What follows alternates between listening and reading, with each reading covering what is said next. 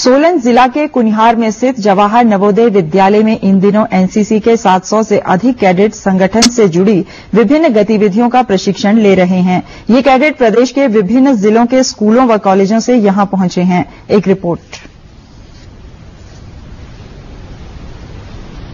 सोलन जिला के कुनिहार में स्थित जवाहर नवोदय विद्यालय में राज्य स्तरीय एनसीसी कैंप में हिस्सा लेने के लिए पहुँचे बच्चों का उत्साह देखते ही बनता है।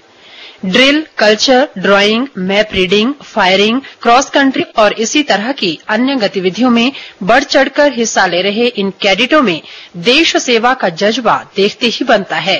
यहाँ पर हमें ड्रिल सिखाई जाती है, फायरिंग कराई जाती है पीटी और हम सब में इतना जोश भरा जाता है ताकि हम आने वाले कल का भविष्य बन सके। और आने वाले कल में हम देश की सेवा करके अपना नाम रोशन करने के साथ साथ अपने देश का और एनसीसी का नाम रोशन कर सके। मैंने कैंप में बहुत कुछ सीखा है।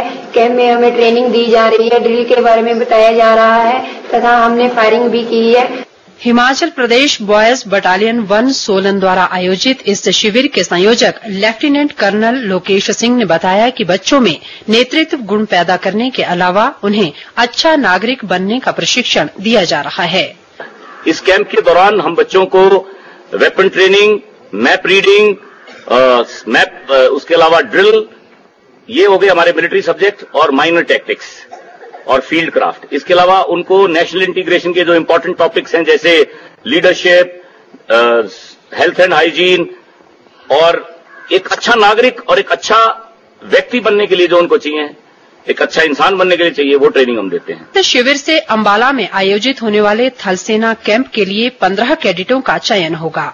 ऐसे में शिविर में पहुँचे बच्चे इस कैंप में जगह बनाने के लिए खूब पसीना बहा रहे हैं और इसे काफ़ी उपयोगी मानते हैं। टीएससी की कोचिंग मिल रही है जिसमें हम map reading judging distance firing और ऑब्स्टेकल के बारे में सीख रहे हैं। यहाँ पर हमें बहुत कुछ सीखने के लिए मिल रहा है और हम चाहते हैं कि आगे जाकर देश सेवा करें।